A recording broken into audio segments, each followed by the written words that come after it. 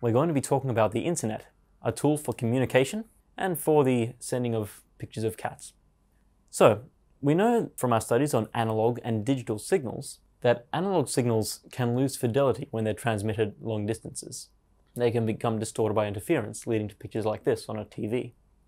So this can make the signal unrecognizable. In the worst case, it can reduce the signal to static, which is just random data without any form. So for this reason, instead of using analog data, we tend to use digital information for transferring. And the reason is that it's harder to lose fidelity with a digital recording when you're transmitting it. Sure, you've lost a bit of fidelity because you now have a digital signal instead of an analog one, but once you have the digital signal, its fidelity shouldn't really change much when you transmit it.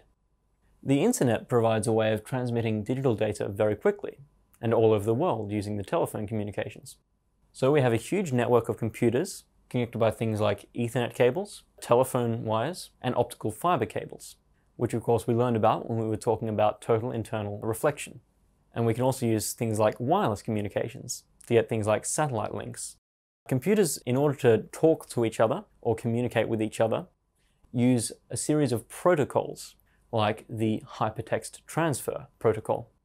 So these allow the computers to request information from each other in a certain way and to send that information back in a certain way. It's a little bit like a language of computers speaking to each other or a series of steps that they go through in order to get information from each other. The protocols will tend to allow for corrupt data because even though analog signals tend to be more affected by interference, digital signals can be affected by interference too.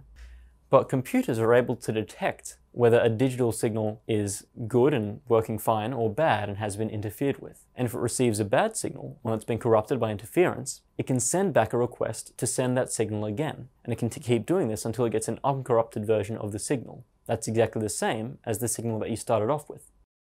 Computers use a modem, which might look something like this, in order to turn the digital signals of the computer information into analog signals, which can be sent through phone lines. Consequently, because phone lines are controlled by telephone companies, a lot of the internet plans that you can get are also associated with big phone companies. Now in the past, if you wanted to connect to the internet, you had to send the digital signals straight to a modem, and the modem would turn them into sound information, which would then be sent through telephone lines. We can see here an old handset from a telephone placed on top of a modem, so that the sounds that the modem produces are sent straight through the phone lines this technology we grew out of pretty fast. And by the 80s and 90s, we had small modem devices which acted like a modem and a phone at the same time. All you needed to do was disconnect your ordinary phone and put the modem in instead. So this is what we call a dial-up connection. If you're using a dial-up connection, it sort of replaces your telephone connection and information is sent through that set of signals. So the telephone companies would charge the user based on how long the telephone call was, except rather than being a telephone call to someone else to speak to them, it would be a telephone, or a modem call, rather than a telephone call to an internet service provider, who would then send back the information that was requested.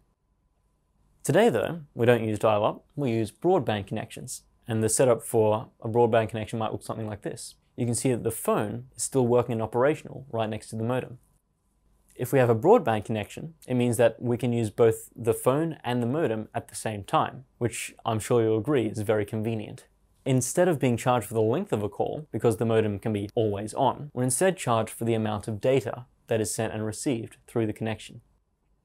So if you go to your computer and you type in a web page like Google, for example, then your computer will send a signal to the computer that has Google on it, which might be thousands of kilometers away on somewhere on the other side of the world. And so that's given here by the request arrow coming out of the laptop. So the server will receive the request, process it using a protocol, perhaps the hypertext transfer protocol, and based on what the request has in it, it will take the web pages that it contains and send a response. So both the request and the response will go through many different devices. It's not just a simple connection plugging in one computer to the Google computer. Otherwise, that's not really the internet, is it? It's a local area network. So if we want to send something to Google, we need to send a signal across the internet, and that means that we're going to have to take many more steps than just this. So first of all, the data is sent to your modem, and converted to a signal that can be sent through telephone lines. So it'll travel through the phone lines until the signal reaches your ISP, that is, Internet Service Provider. That's the person who you pay for for internet. Once it's reached that, it'll travel through a whole bunch of carriers. Carriers are simply devices which will receive a request for a web page and then pass that request on. So it sort of carries the signal onto the next part of the network. We can see here a trace of how far a signal is moving. Most of these entries in the middle are the signal passing through various different carriers. Right at the bottom here, it starts to reach carriers close to its destination. Finally, once the signal arrives at the destination, the server that it arrives at can interpret the signal, figure out what to send back, and then send that response. Once the response gets back to the computer in the same way that the requests went, the modem will translate the signal into computer readable data. This will consist of ones and zeros, which can then be translated into letters, for example, as we can see at the top here. And a browser, something like Mozilla Firefox or Google Chrome, is a program on your computer which can turn this raw text and ones and zeros data into formatted data. That is, data that looks nice and pretty. Something like this picture on the bottom, with a proper font and color and backgrounds and images and things like that. So that's the end of the theory. Uh, in this section, we've covered exactly what the internet is and a little bit about how it works.